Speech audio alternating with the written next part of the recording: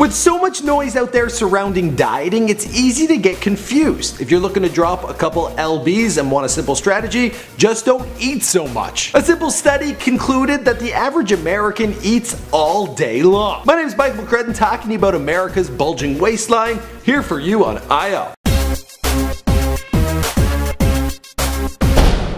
Myself, I don't get to the gym nearly half as often as I'd like to. In fact, I never get to go. I wouldn't mind dropping a good 10 or 20 pounds, building up some muscle definition, but I want to hear from you guys. What are your fitness objectives? Be sure to let me know in the comments down below. Now, if you're eating while you're watching this video, put the pepperoni pizza slice down. I'm telling you, seriously, you've had enough. According to a small study conducted out in San Diego, 156 people were asked, what do you eat all day? Documented. The results? Well, Americans eat from the minute they wake up to the minute they fall asleep. Some of them even eat in their sleep, I'm serious. To keep track, these people were asked to take photos all day long of everything they consumed and the researchers, their minds were blown because these people were eating a whole lot. In an attempt to slow things down, to point them in the right direction, they gave them a window of 10 hours, asking them to only eat within those hours and all of a sudden things were looking a little better. Following this simple tweak, each of the participants lost 20% of their calorie intake, and on top of that, 7 pounds on average. Each of them lost. That's a lot. There it is, guys. Those late night drive-through stops to McDonald's, they ain't helping anybody. I'm guilty of doing a few of those myself. Now, to me, this all seems like common sense, but the whole weight loss and diet industry, it can be really confusing. You go to pick up a book and it's like the encyclopedia, you buy a DVD and there's 20 different workouts, like just give me some something easy to do. Sometimes simple direction is the best step, especially when you want to battle the bulge. Alright guys, that's all I got for you in this video. My name is Michael McCrud. Thanks for checking out Inform Overload. We do all sorts of crazy videos on here, so be sure to subscribe.